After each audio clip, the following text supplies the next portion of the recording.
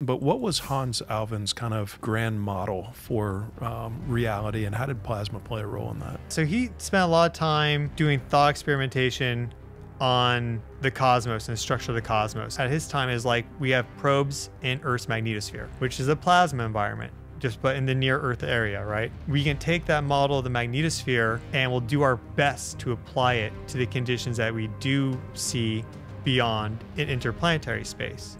Then once we get probes there, we can refine our model with that new info. You lay that out very nicely. Uh, that really resonates with me. We do see these things also through our telescope observations. So we do have some data and evidence, right? We see these gamma ray bursts and we know that there's certain energy required for these things and how that scales off as it travels across time. So uh, you put all that together and just a recognition of plasma too, like it requires us to think a little bit beyond gravity. We're in this yeah, a lot of it's our thinking and the history. Like we're in this era of Newtonian physics, and now we're in that transition to quantum physics. But people are aware of gravity. We interact with it on a day to day. He just brought greater, one of these pioneers of greater awareness as to what plasma is, how it operates, and it's a greater awareness as to electromagnetism and how much more powerful of a force it is than gravity.